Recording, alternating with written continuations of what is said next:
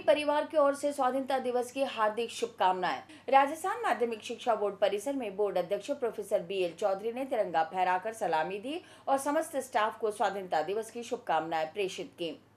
केंद्रीय माध्यमिक शिक्षा बोर्ड परिसर में बहत्तरवा स्वतंत्रता दिवस बड़े धूमधाम से मनाया गया। इस अवसर पर बोर्ड अध्यक्ष ने झंडारोहण कर सभी को स्वतंत्रता दिवस की शुभ खुशियों के ये पल आज है और है कल। हम इस पल कुछ खा पी ले पिज्जा पॉइंट कंगौर for delicious moments.